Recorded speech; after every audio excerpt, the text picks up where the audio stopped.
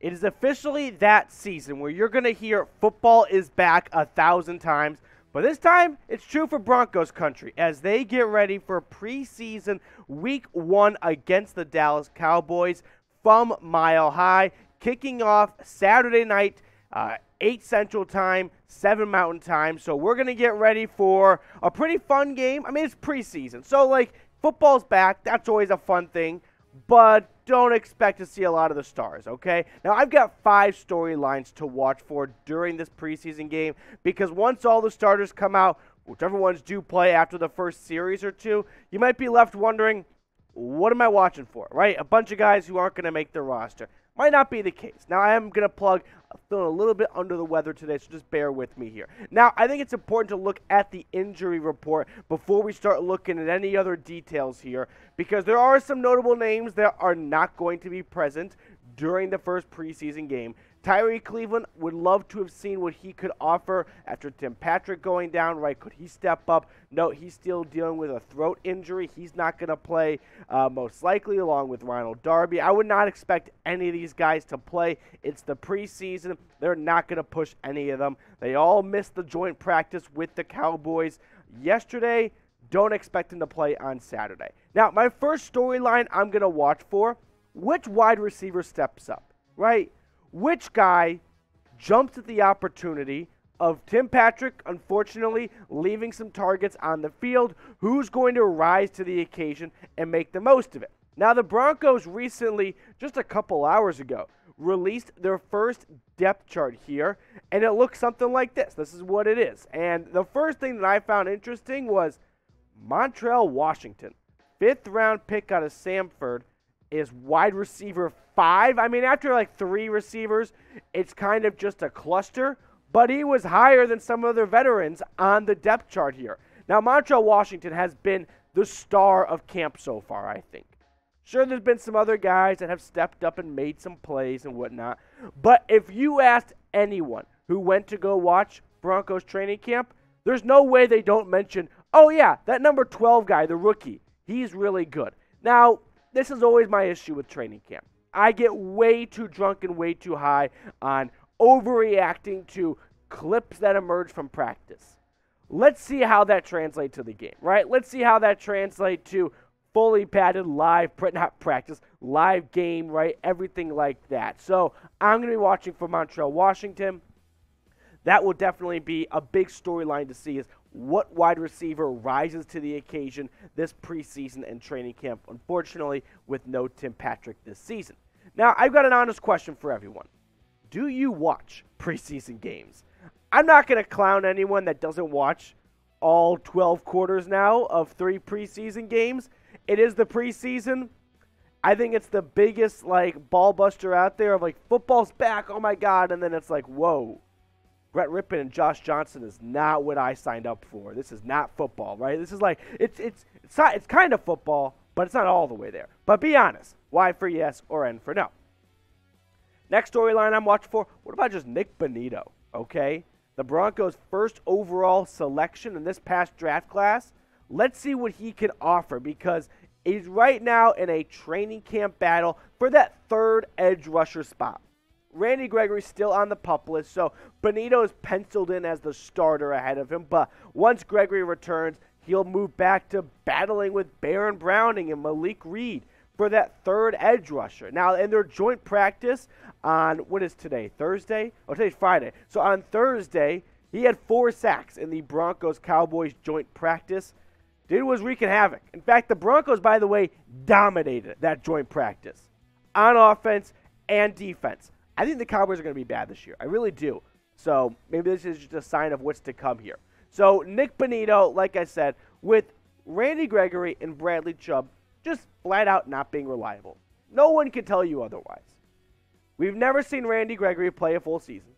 Bradley Chubb has not played a full season since 2018. Would his number, or could Nik Bonitto's number be called on earlier than maybe what the plan was, right? So that's why I'm going to be watching for Bonitto in preseason is he getting pushed around by the big boys in the NFL, or can he go with the big dogs and run with the fastest and the strongest of them? Now, before we get to the rest of the training camp, uh, excuse me, preseason storylines plus some shout outs. That's why you subscribe. You always get shout outs when you subscribe. Help us reach 9,000 subs, guys. Please, please, please. We are just over 500 away. So if you're looking for a Broncos YouTube channel this season, you found the right spot. Hit that sub button. Next storyline I am watching for the battle for the third cornerback spot. We know it's PS2, Ronald Darby, and K'Waun Williams as your nickel corner. But after that, nothing's a guarantee. And it's a battle between the veteran Michael Ojemudia, fifth round pick out of Iowa, who had a great season. We'll look at stats in a moment. And then the rookie, Damarri Mathis, out of Pitt, who has been turning heads so far at training camp. And let's see how he fares in the preseason. I loved Ojemudia back in 2020. I thought he was like a, a diamond in the rough. You know, for a fifth round pick, you couldn't ask for much more. Or, you know, he made great contributions early on. And unfortunately, last year it was the injuries, right? He just got injured in preseason. And then I'm not really sure whatever happened between him and I said fifth, third round pick. I don't know why I was thinking fifth. But regardless, uh, Fangio and Ojemudia just couldn't get on the same page, I guess. Complete drop off in 2021 after the injury. Now, Damarri Mathis, like I said, he has been one of the bright spots so far during training camp. It is training camp, though. You know, it's one of those, hey, how much are we going to read into drills where there's not even live contact or anything like that? That's why my, my biggest issue with training camp is I overreact to some of these stories and then week one of NFL regular season rolls around, and everyone gets piped down a notch because it's the big dog's time to play. Next storyline I'm going to be watching for is Nathaniel Hackett's head coaching debut. Um, Hackett hopped on the PMT Pardon My Take podcast today. He was really funny. If you, if you want to get more Hackett stuff in your life, you should go listen to that over at PMT because it was pretty interesting. So, how is Hackett going to manage the workload, right? How much time does he let the starters play? Does he sit all 22 starters from the first whistle till week one of the regular season? Or does he want some of these new guys like Russell Wilson, who doesn't need to prove anything in training camp in preseason? There has been some murmurs out there. I would, you could upgrade it from murmurs that Russ hasn't been necessarily the sharpest tool in the shed so far in camp, but it's also training camp. That's what it's for to shake some of the rust off and whatnot.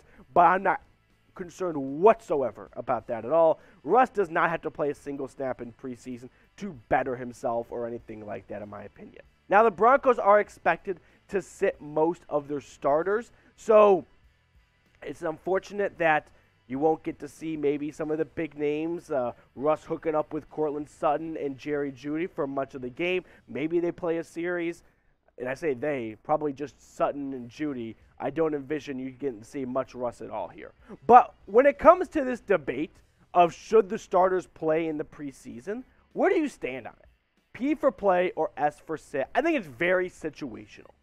If it's new guys, new regime, all that newness, yeah. One quarter of the preseason, if you get hurt, like, yes, that sucks, but this is football right? At some point, you got to start stop pussyfooting around and go like, all right, we just got to play football. So I'm for situation. I'm in the middle. I copped out. I'm, I'm a coward. All right, next and final storyline to watch for here: Jonas Griffith versus Alex Singleton. The battle for the other starting inside linebacker position next to Josey Jewell. The depth chart was released, and Jonas Griffith is ahead of Singleton so far. He ended the season very well last year. After being traded from San Francisco, Jonas Griffith was one of the brighter spots on defense last year that was unfortunately just devastated with injuries. But Griffith made the most, right? He upgraded himself from just a special teams guy to, hey, this could be our starting inside linebacker next year. Young guy, we don't have to maybe go expensive in free agency. We can bring him back and we can see what he's got in store here. So it's going to be fun to see how this battle works out over camp because Jonas Griffith is not, you know, Patrick Willis. He's not a Danny Trevathan. He's not going to be penciled in from now until the regular season. There's no battle at all. Now, Singleton, if he puts together some good games and some good practices, we could see a shakeup right there. Now, like I've been mentioning throughout the show, the Broncos released their first depth chart here. Now, we're not going to look at every single position group because, spoiler alert, Russell Wilson starting at quarterback. Javonte Williams is starting at running back. But there are some other position battles I think that are pretty interesting to see how the coaches view it. So let's start at the offensive line here. Because Quinn Meinerz, my guy Belly, is starting at right guard over Glasgow. So we thought this was coming. Now it's confirmed. Calvin Anderson, the current starting right tackle, with Billy Turner still on the pup list. So that's how it's looking at the moment. Now, when Turner returns, everything could change, but we'll see. So that's how the offensive line looks at the moment. I was looking at the defensive line, defensive line as well, because we knew both Joneses were going to start. It was the other five technique defensive end position that was kind of up for grabs, and DeShawn Williams is ahead of players like McTelvin Agim, uh, Marquiss Spencer, the rookie, excuse me, uh, Wazurike out of Iowa State. So DeShawn Williams holding on, good story. Love to see his career, and hopefully he can, you know, flourish with the Broncos this year. He had some great games last year, started down the stretch, got injured, but it looks like he's picking up right where he left off. Now, before we get on out of here, on our last video, we did some letters to George Paton, where if I, I asked you guys, comment me down below, and I'm going to include your name on a letter to our guy George to try and persuade him to make a trade for Roquan Smith. Even though it's not the most feasible, it would be awesome. So here's everyone who's going to be on the letter. I picked up stamps on the way to work today. Watch out for a picture of the letter soon to come. But DRJ, Brian, the new guy, Chris, Daniel, Jack, DJ, T. Brody, Nathan. We got Richie Baez, Elin, David, Justin, Baxter, Ton, I always see you in the comments section. Hope I pronounced your name correctly.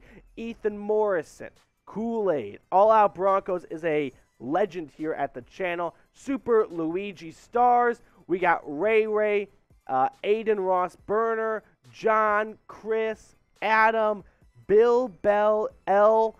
I mean, just one of the MVPs of the comments section, along with Michael Wilson and Jacob Youngblood. Not forgetting about you, Isaiah Garcia. And we got Keanu, and then four names to wrap it up before we almost send you guys out of here. Carlos, Octavio, Aaron Gonzalez. You guys are all champs in the comment section. And then Dioncio Quinores. I hope I pronounced that correct. I think I got it wrong, though. My apologies. But you guys are all on the letter to our man, George Paton. Now, if you made it to the end of today's show, drop a simple let's ride down in the comment section. You guys are the real ones for watching all the way through and not tapping out after a couple of minutes. So, shout out to you. Appreciate everyone for supporting the show. And comment, let's ride, Broncos country.